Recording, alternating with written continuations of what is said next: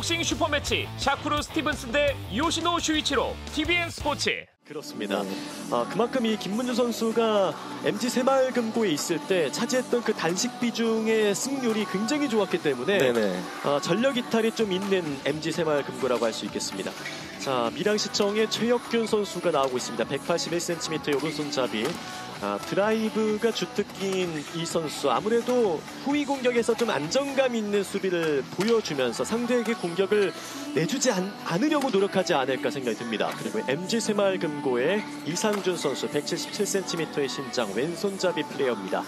아, 스매싱이 주특기고 장점도 수비력으로 꼽고 있기 때문에 아, 이 선수가 얼마나 또 수비력을 보여주면서 공격할 때 그 찬스를 득점으로 연결 짓는지 확인해 보겠습니다.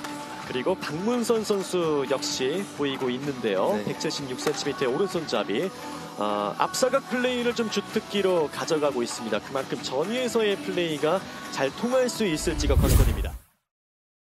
2023 열정 배드민턴 리그 남자 단체 6강 플레이오프 MG 새마을금고대 밀양시청의 첫 번째 경기 복식조로 시작이 되겠습니다. 화면 상단에 MG 새마을금고, 화면 하단에 밀양시청이 위치합니다. 경기 시작합니다. 자, 곧바로 빠른 공격으로 3구 공격으로 득점을 만들었습니다. 선수들도 충분히 알고 있을 거예요. 초반 흐름을 어떻게 잡느냐에 따라서 게임을 어떻게 풀어나갈지에 대해서. 예.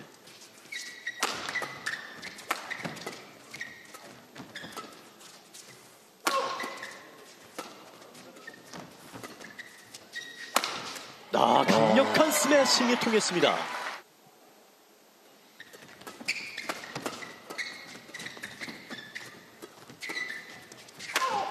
자, 이번엔 최혁균이 응수합니다.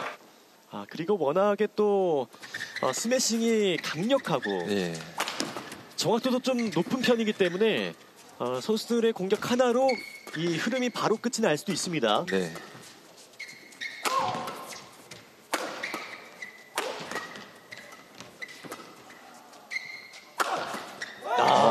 아, 계속되는 박설현의 스매시. 역시 한 방이 다들 있기 때문에 디펜스 할 때 항상 더 집중을 해야 돼요. 네.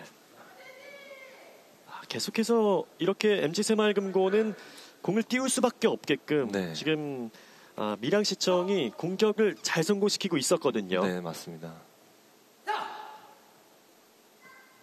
최혁균의 서비스입니다.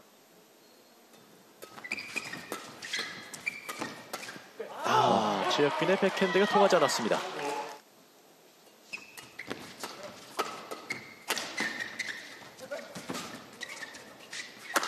아, 스매싱. 다들 지금 현역 우리나라 1, 2번으로 뛰고 있는 복식 선수들이 다 국군 체육부대이기 때문에 그렇죠. 네, 뭐 최설규, 서승재 선수 있고요. 네뭐 맞습니다. 김영혁 선수도 있고요. 네, 이 단식에는 또 조건엽, 정민성 선수도 모두 이제 국가대표이기 때문에 네 맞습니다. 어, 사실상 국가대표를 만난다 생각하면 됩니다. 아, 네, 네, 맞습니다. 예. 아, 그만큼 이 네트 가까이에 붙어서 빠른 반사신경과 또 아, 대응이 중요하겠네요. 네 맞습니다. 자, 크로스 공격은 통하지 않았습니다. 음. 인터벌 이후에 재개됩니다.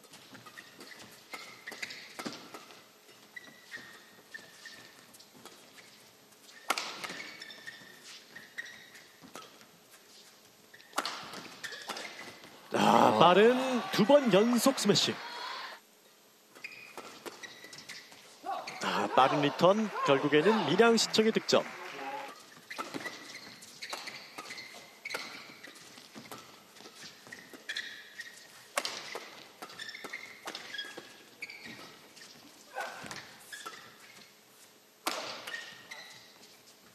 스매싱 네. 내리꽂습니다. 아, 최혁균 선수의 스매시가 계속해서 통하는 모습입니다. 그래서 선수들은 비상용 라켓으로 네. 대부분 한 뭐 좀 많이 들고 다니는 편입니다. 자, 이번에는 좋았습니다. MG 새마을금고의 강력한 네. 스매싱이 나왔습니다. 이상준의 득점. 12대 6입니다. 좋죠. 네, 네트에 걸리면서 이상준의 득점. 네. 어, 이전에 뭐 하태건 전 선수에게도 들은 내용이지만 네네. 이 박주봉 선수는 거의 뭐 칠수 앞을 내다봤다고 네. 이야기를 하더라고요. 맞습니다. 예, 어떻게 보면 바둑으로 따지면 구단이시죠. 그렇습니다. 네. 어, 뭐 그만큼 대단한 선수였으니까요. 아유, 예, 네. 믿음이 갑니다. 네.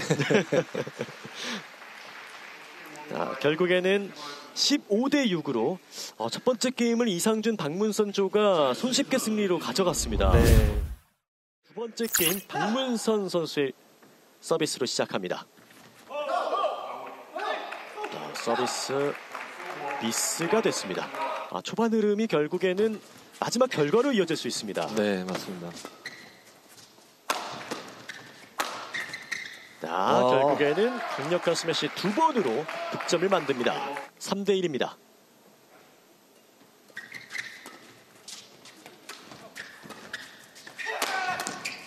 자, 박문선의 스매싱이 통했습니다.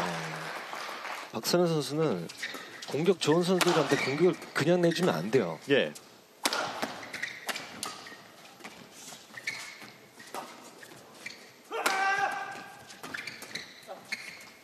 아, 그대로 내보내면서 네. MG 새마을연고 이제 두 번째 게임도 시동을 겁니다. 4대4 동점.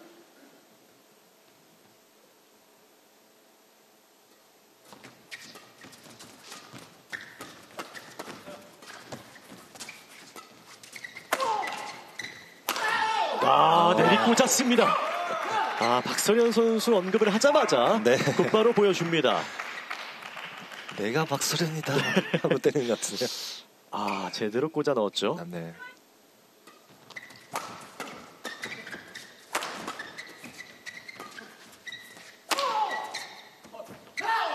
그대로 내버려뒀는데요. 아웃입니다. 하지만 MG 새마을금고의 챌린지가 요청됩니다. 뭐 선수들이 있는 위치에서 보면은 또 라인에 걸친 듯한 느낌으로 보이기도 하니까요. 네, 맞습니다. 선수들 대부분 그렇게 볼 수밖에 없는 게 공이 가는 방향에 따라 음. 걸 보고 있기 때문에 네, 좀 의심을 할 수 있죠. 그렇죠. 6대 4가 됐습니다. 아, 아무도 없었어요. 아, 반격에 실패합니다. 박문선의 서비스입니다.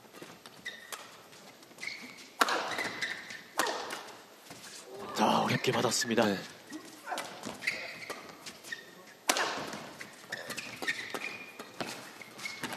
아, 네. 야, 결국에 꽂아 넣었습니다. 아, 박문선 선수 지금 허벅지 뒤쪽을 좀 잡고 있는데요. 네네네. 다행히 일어나서 일단 걷고는 있습니다. 인터벌 이후에 재개됩니다.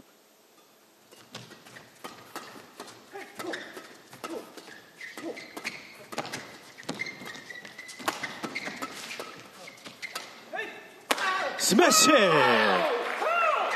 아, 시원한 스매싱을 보여주고 있습니다. 이 배드민턴 종목이 워낙에 또 접근성이 좋고 네. 많은 회원분들이 또 있다 보니까 네네네. 어, 특히나 뭐 이 남자 배드민턴 스타 선수라고 한다면은 지금도 건재한 이용대 선수도 있기 때문에 네네네. 그때 당시에 뭐 올림픽에서의 활약 네. 예, 이용대 선수가 그때 어, 윙크 세레머니를 했던 덕분에 네네. 또 배드민턴 종목에 대한 관심도가 높아지지 않았습니까? 어, 굉장히 많이 인기가 많이 좋아졌죠. 예. 자 내리꽂습니다 이상준의 득점.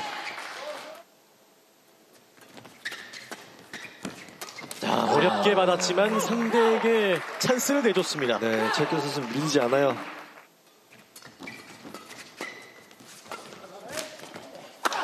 아, 결국 또 한 번 미끄러지면서 네. 아, 밸런스가 무너졌었던 MG 새마을 금고입니다. 네네. 14대 9 게임 포인트입니다.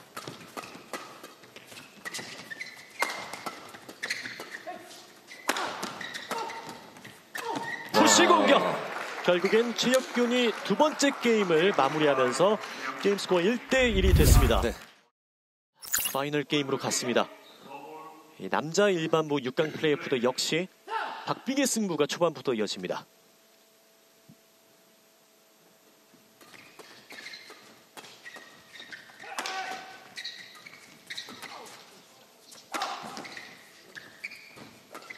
아, 어려운 공격들을 받았었지만 사이를 통과하는 스트로크가 나왔습니다.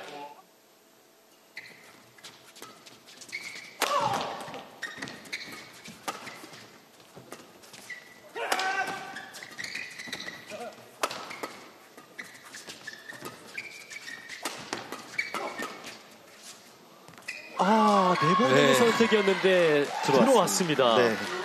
이 선수들이 서비스 미스가 계속 또 나오는 이유 중 하나가 네. 이 1.15m 이하에서 어느 정도 네. 좀 쳐야 되다 보니까 그 규정 때문에 좀 신경 써야 되는 부분들이 많아졌거든요. 네, 맞습니다. 아무래도 지면에서부터 네, 허리까지 올라오는 그 라켓 헤드가 넘어가면 안 되니까 예. 네, 아무래도 그 사이에 또 서브를 넣다 보니까 아무래도 신경 쓸 게 많겠죠. 네.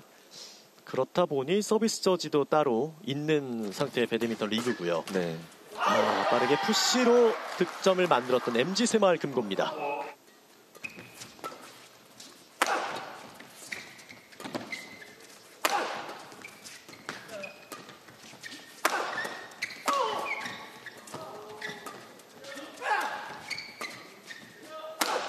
아, 스매싱 박소련의 득점. 좋아요. 지속적인 공격은 상대 수비를 불안하게 만들 수 있어요. 맞습니다. 자, 계속해서 스매싱을 하면서 MG 새마을금고의 아, 수비를 좀 뚫으려고 했었는데 결국 통했습니다.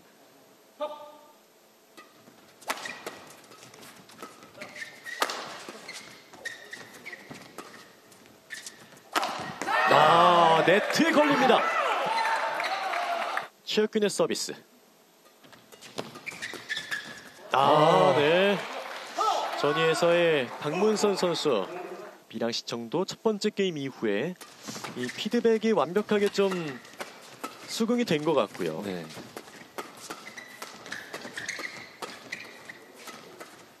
어, 자, 두 번의 스매시. 아, 비랑 시청 강합니다. 네.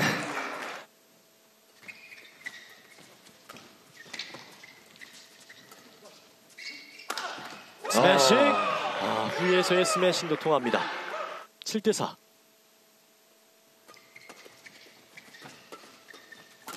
아, 꽂아보려 했지만 네트를 넘기지 못했습니다.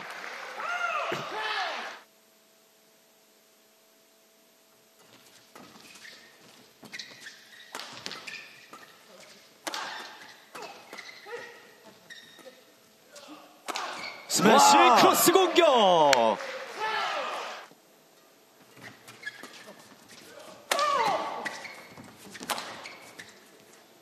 어, 밖으로 나갔습니다. 그렇죠. 지금 쫓아갈 수 있는 기회를 지금 주고 있거든요. 예. 1.2점이. 6대 9 석점 차.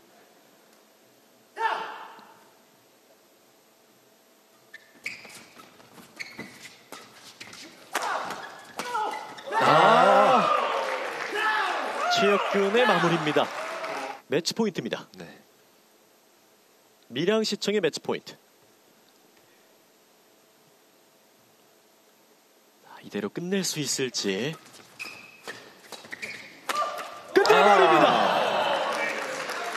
아, 최혁균 선수의 마무리와 함께 파이널 게임 끝에 네. 첫 번째 복식 경기를 승리로 장식하는 밀양 시청입니다. 네.